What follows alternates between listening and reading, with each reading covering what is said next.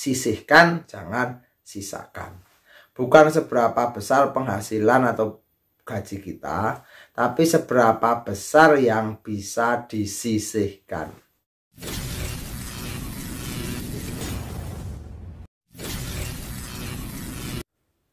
Assalamualaikum warahmatullahi wabarakatuh. Bertemu lagi dengan Pak B di channel Maju Bedi. Eh, kali ini Pak B akan uh, membicarakan atau tetap mengedukasi tentang emas.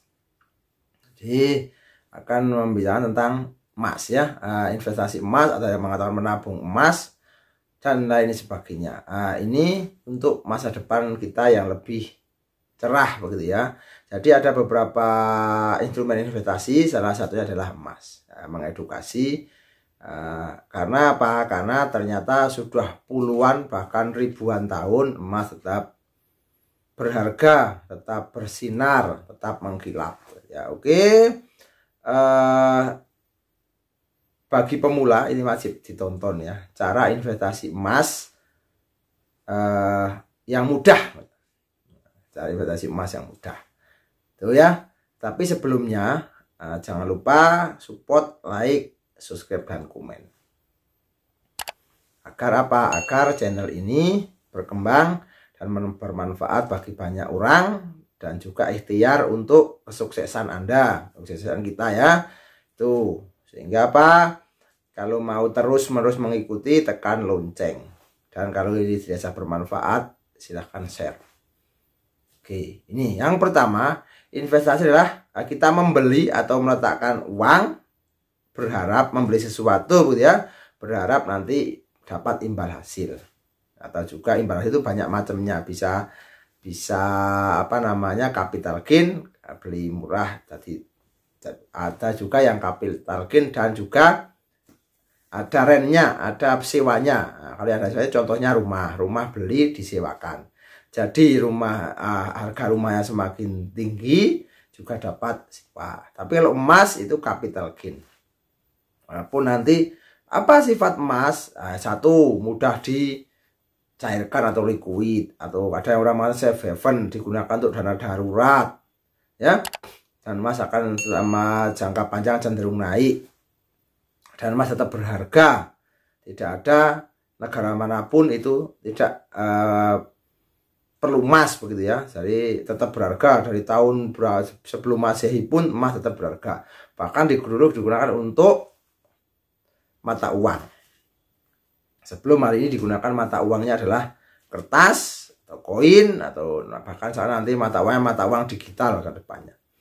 Oke. Cara yang pertama, nah, cara yang pertama ini adalah pilih produk emas yang sesuai dengan kita, sesuai dengan kita, bukan sesuai dengan orang lain loh, sesuai dengan kita. Kalau uangnya sedikit, itu emas batangan yang kecil-kecil. Kalau mau bentuk fisik ya, bisa 0,25 gram 0,1 gram 0,5 gram. Nah, ada yang 1 gram 5 gram 10 gram 20 gram ya. 50 eh, gram 25 eh, gram 50 gram 100 gram sampai 1 kilo. Kalau yang uangnya tidak banyak tetap mau punya ya tabungan lah ya tabungan emas. Bisa emas pegadaian peluang dan lain sebagainya banyak macamnya Loh, ditanya Pak P yang mana? Yang saya lebih cenderung ke emas pegadaian begitu ya. Cenderung eh, apa namanya? Tabungan emas pegadaian karena mudah dan di setiap kabupaten kota ada cabangnya dan bisa membuka. P masih senang bertransaksi langsung karena langsung dimasukkan ke dalam eh, saldo. Jadi kita kita tuh seperti beli berapa gram gitu ya masukkan saldo. Jadi kita nabungnya uang bentuknya saldo berapa gram. Dan itu murah, mudah. Kalau mau lebih lengkap silahkan lihat di konten yang lain di Ahmad Jubedi tentang cara membuka tabungan emas. Oke yang kedua tadi emas perhiasan. Bisa juga emas perhiasan. Kalau mau berhias uh, sambil menabung atau berhias sambil berinvestasi. Itu emas perhiasan emas digital ya tadi emas digital itu adalah tadi yang barusan Pak Beda adalah menabung tadi. Harga dan spread itu lebih murah. Karena apa? Karena tidak dicetak dalam bentuk fisik. Kalau mau dibentuk dalam bentuk biji kita ada tambahan harganya. Ada tambahan biaya mencetak dalam bentuk fisik. Ingat ya jadi mencetak dalam bentuk fisik. Tuh. Terus nabung emas kan itu ya. Nabung seperti tabung tadi. Ya nabung itu ya bisa paling murah katakanlah satu 0,01 gram itu 10 10 ribu karena satu satu gramnya adalah satu juta misalnya. Ya sepuluh ribu sepuluh ribu terus menerus nanti kan akan dapat satu gram. Nanti akan dapat dua gram tiga gram dan selanjutnya. Begitu mudahnya. Yang nggak mudah itu adalah mulai dan istiqomah. Atau komitmen jangka panjang. Ingat emas itu adalah jangka panjang berapa pak? Ah, minimal ya 4 atau lima tahun ke atas. Semakin panjang semakin bagus. Jangan cuma satu tahun, dua tahun berharap imbal hasil yang karena uh, apa harganya kan fluktuatif naik turun naik turun. Ya, dalam jangka panjang itu naik. Tapi kalau pada saat belinya pas saat sangat tinggi, misalnya pada saat tahun 2020 2021 2021 Oktober itu ya Agustus sampai Oktober itu kan luar biasa tingginya nah, itu nanti untuk mengikuti tingginya buyback itu perlu waktu yang panjang. Yang kedua, pilih seller atau penjual yang terpercaya. Tadi kan pilih produk emasnya bisa perhiasan, bisa batangan, bisa digital eh, atau menabung tadi, bisa bisa tabungan dalam bentuk fix tabungan atau pakai aplikasi dan sebagainya. Yang kedua, pilih penjualnya. Penjualnya itu bisa kalau yang batangan kan bisa di Galeri 24, Putih Antam, toko emas yang terpercaya. Lotus Arsi, macam-macam ya sekarang udah macam-macam banyak. Nah, terus kalau yang perhiasan ya semua toko emas. Tinggal kita saja pilih mau yang mana. Ya.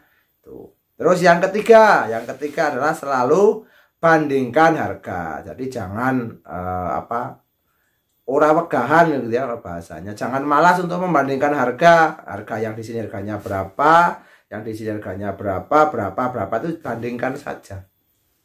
Ya, bandingkan aja.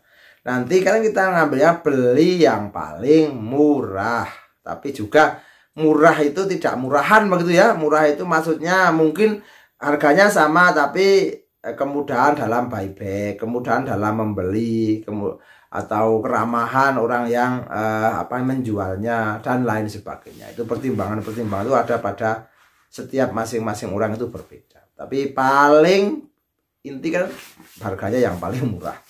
Kalau sama-sama apa namanya uh, pelayanannya sama kan nanti pilih yang paling murah. Nah, bisa UBS bisa Antam bisa Lotus RC kali 24 uh, Sampurna dan sebagainya itu banyak sekali.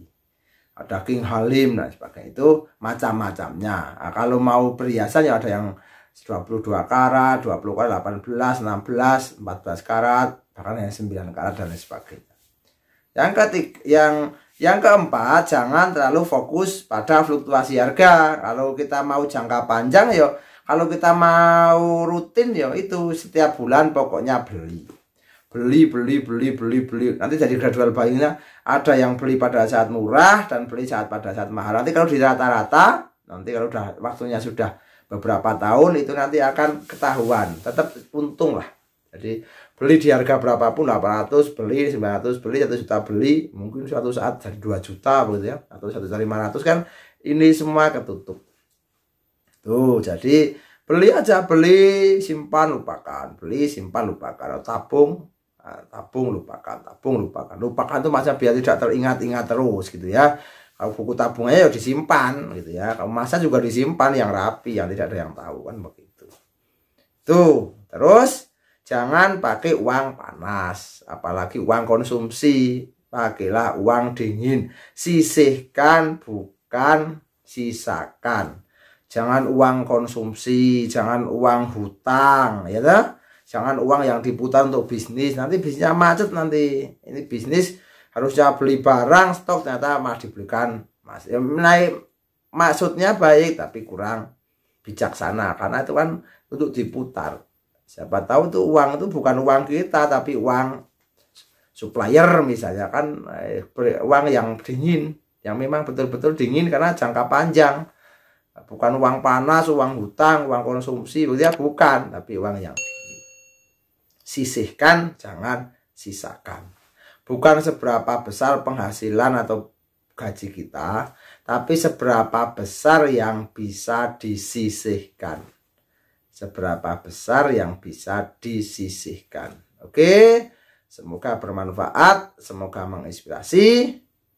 Jangan lupa sedikit-sedikit beli emas beli emas sedikit-sedikit beli simpan lupakan see you next time. Assalamualaikum warahmatullahi wabarakatuh